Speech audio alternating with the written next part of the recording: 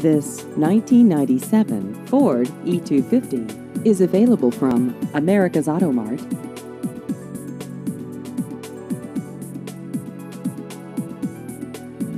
This vehicle has just over 250,000 miles.